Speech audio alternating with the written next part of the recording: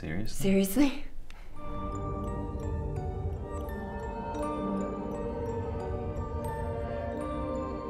So I have this for you. Okay. Oh. This is amazing. Oh. Oh, actually, Hale I'm, I'm hands, very you're good. very good at it. I, I'm, I'm gonna throw my ha- my own hat. it. In, Yeah, yeah. Me. Let me let me let me do a little warm up here.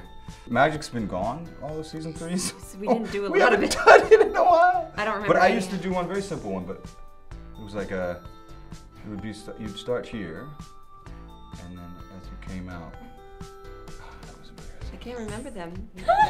You do you do your like. yeah, yeah, yeah. I simplify just like a Ben. There you go. I'm really bad at it, so I simplify.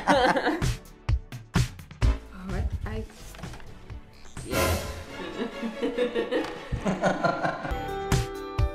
I'd go with myself, honestly. I- Alice knows you. the second most about Fillory. Yeah, I'd go, I'd go with Alice. That sounds fun. Yeah. Yeah. Let's put them together. Yeah, yeah, yeah. These two. Definitely not Penny. Definitely not Alice. Yeah.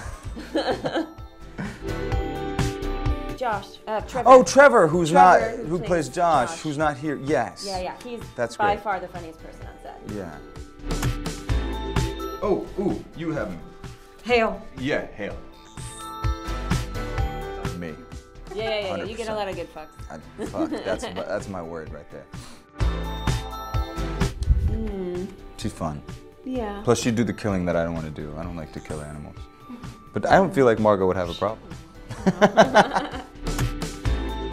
well, in season three, the most powerful magician is Julia Yeah, because only one that has she's the only one that has magic. So by default, she she is uh, the most powerful, and and her story uh, takes her to a really powerful place. But um, all the characters are finding their own power. Yeah.